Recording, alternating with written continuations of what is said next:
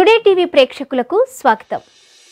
మట్టి గణపతులనే పూజించాలి Vikarabad MLA doctor మెతుకు ఆనంద్. ఈ రోజు వికారాబాద్ ఎమ్మెల్యే డాక్టర్ మెతుకు ఆనంద్ టీఆర్ఎస్ పట్టణ యువజన విభాగం ఆధ్వర్యంలో ఏర్పాటు చేసిన మట్టి వినాయక ప్రతిమలను ప్రజలకు పంపిణీ చేశారు.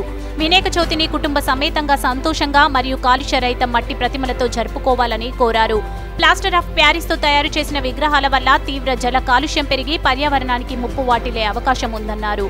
పర్యావరణ రహితం కొరకు రసాయనాలతో చేసిన విగ్రహాలను తగ్గించి మట్టి విగ్రహాలు ప్రోత్సహించేందుకు ప్రభుత్వం కృత నిశ్చయంతో ఉందని గుర్తు చేశారు. కోవిడ్ నేపథ్యంలో ప్రజలందరూ జాగ్రత్తలు తీసుకుంటూ భక్తి శ్రద్ధలతో పండుగను జరుపుకోవాలన్నారు. ఈ కార్యక్రమంలో మున్సిపల్ చైర్పర్సన్ ప్రజాప్రతినిధులు పార్టీ నాయకులు కార్యకర్తలు తదితరులు పాల్గొన్నారు. టుడే టీవీ ప్రతిక్షణం ప్రజాపక్షం.